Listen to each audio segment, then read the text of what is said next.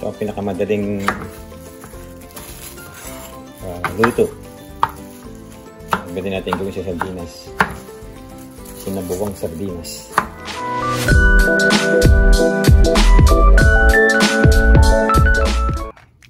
Hi there! Hello everyone! Ito, lunchtime na naman. So, I'm on my lunch break.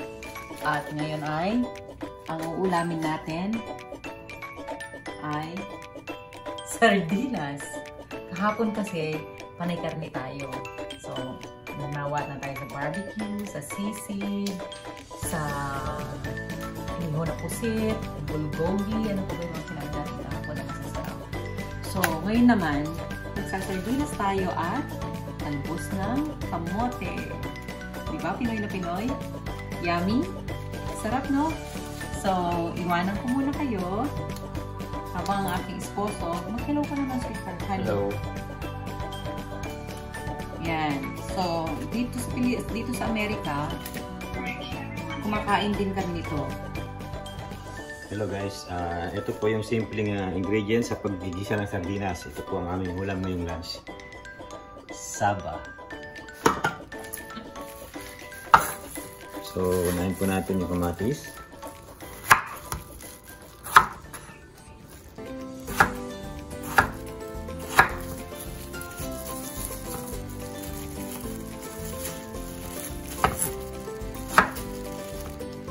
Ito ang pinakamadaling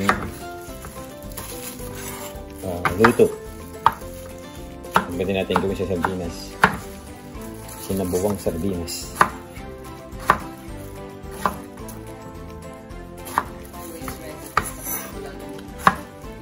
Ang gagayak lang natin ay ang mga sangkap niya.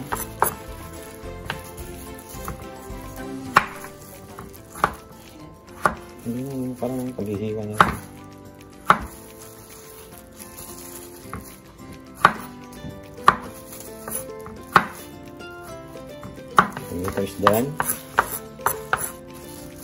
Garlic. Garlic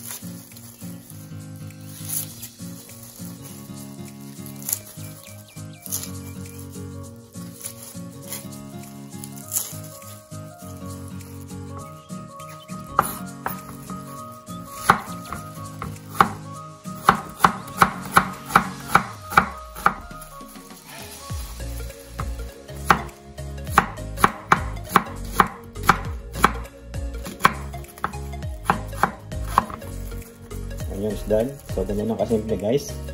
Ngayon, igigisa na natin. Igigisa na po natin ang ating uh, sardinas. Ngayon po natin ang oil.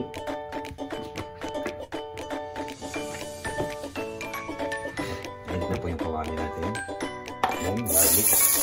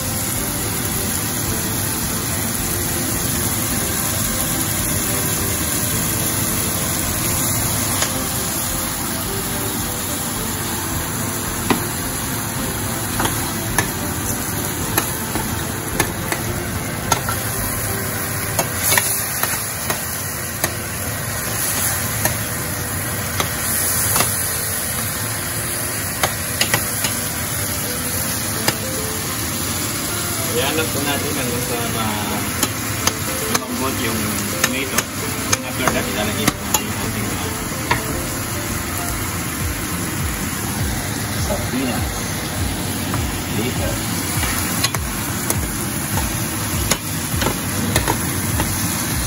Pinoy na Pinoy po. Pinoy na Pinoy.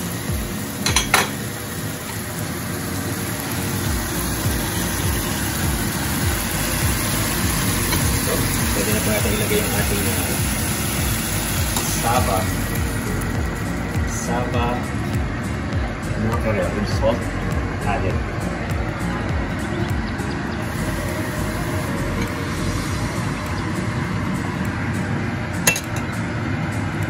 Ito po ang palaging uh, ulam ng panahon na tayo ay nasa Pilipinas pa. Pwede po tayong gumawa ng iba't ibang putahe sa sardinas. Pwede rin po natin gawing tortang sardinas. Pero usually po, yan. Sarap po yan yung may sabaw. Uh, 20 minutes po siyang ganyan. minutes. Ilalagyan po natin ang ating talbos ng kamote.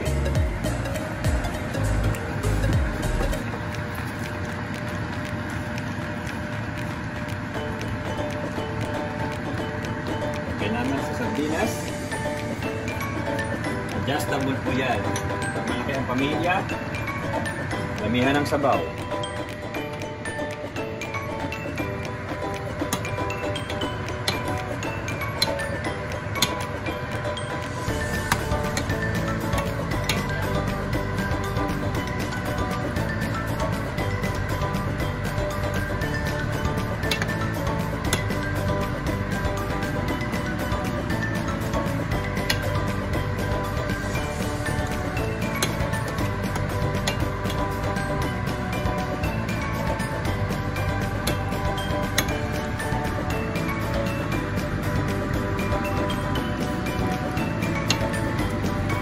After 2 minutes po, ready na. Pwede na siya mamungin. Ready to eat. Mukhang mapapalaban na naman tayo niyan sa kanin. Mukhang mapapalaban na naman tayo niyan sa kanin. Yummy!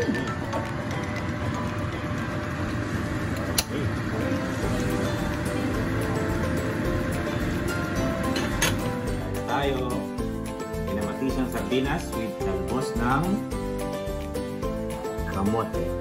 That's it.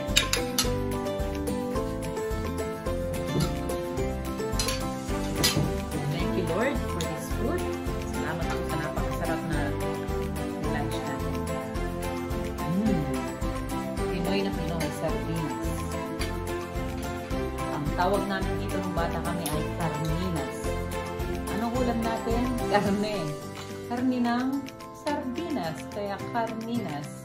Mga diba? At samahan mo ng maraming kanin. Kaya lang guys, kailangan mag-diet no? So, konti lang muna. Konting rice lang muna. Thank you Lord. Ayan guys. Wala nang natira sa sardinas. Ubos at masimot na.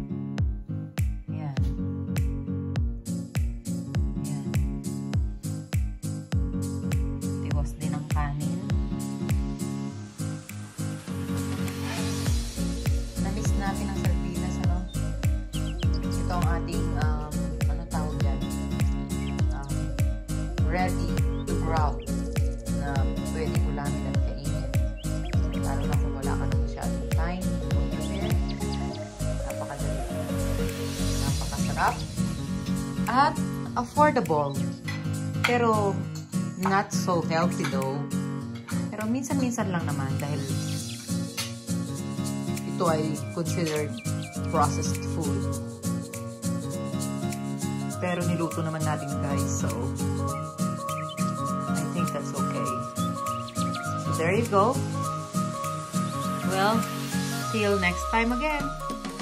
Thank you so much for watching. Don't forget to subscribe.